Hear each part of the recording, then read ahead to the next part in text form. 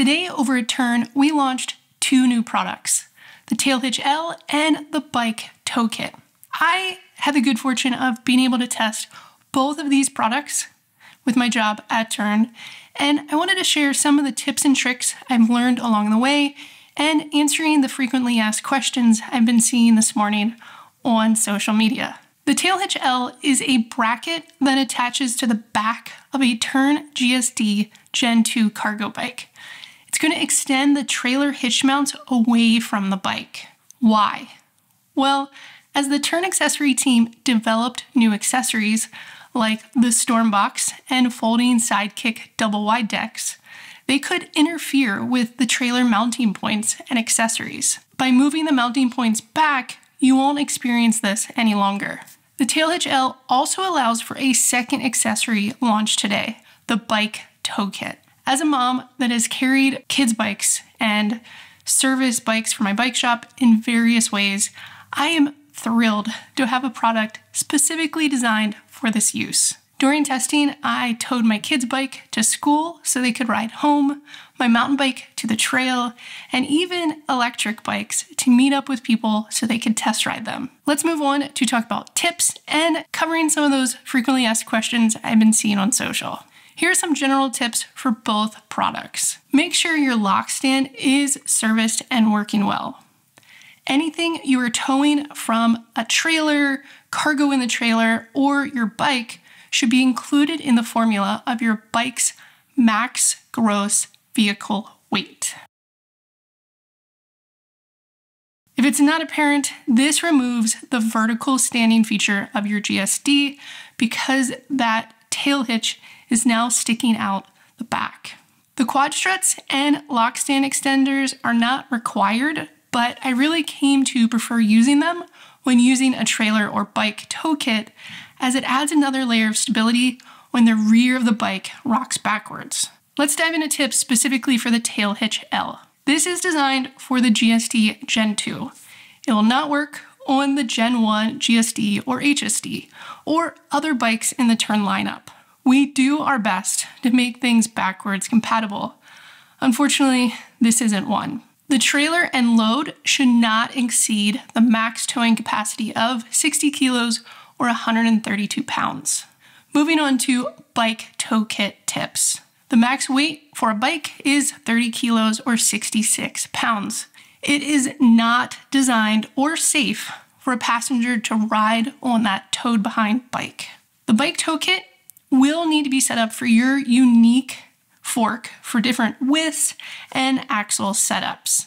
The bike tow kit comes with a bunch of parts and very clear instructions to help you figure out what setup you need for your bike. There are four different towing tubes and three pairs of different towing tube ends. The towing tubes are going to change the width and the towing tube ends are specifically to adapt different axle sizes. Personally, I started adding colored electrical tape to the ones I use the most to make swapping faster. I switched between a through axle fork for my mountain bike and the Tern HSD and quick release wheels for my kids' bikes. This was pretty simple. It just required me to unbolt with a basic 5mm Allen, the tow kit, and switch the different tow tubes and towing tube ends that changed that inner diameter for the different axles and the width for my fork.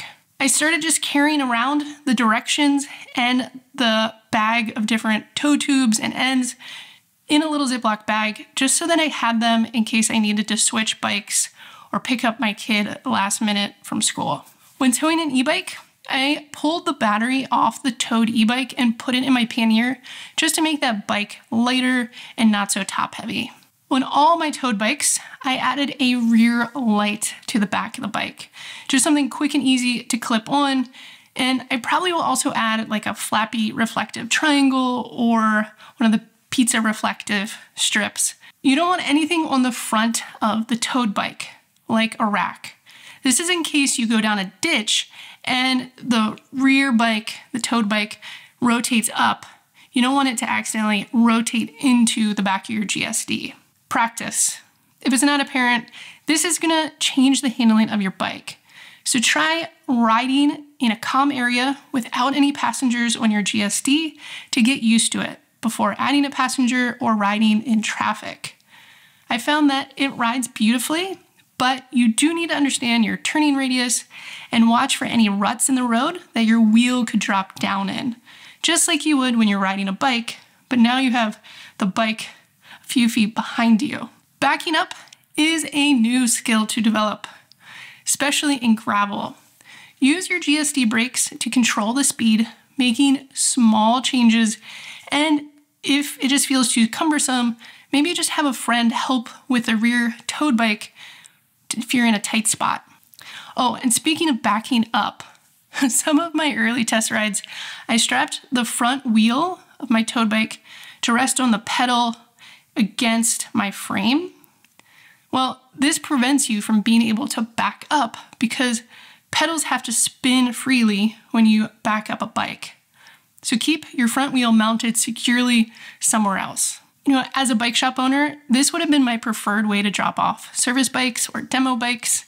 As a mom, this is the best option I have seen to bring a kid's bike along with you. As a mountain biker, this is going to allow me to bike to the local trails easier without having to get in the car.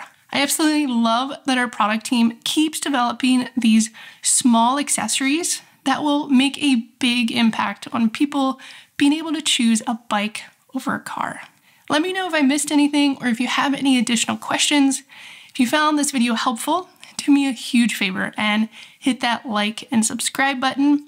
And also make sure to go give Ternbikes a follow and check out the video that I made for this launch. All right, until next time, stay well, stay good, and remember to bike more and worry less.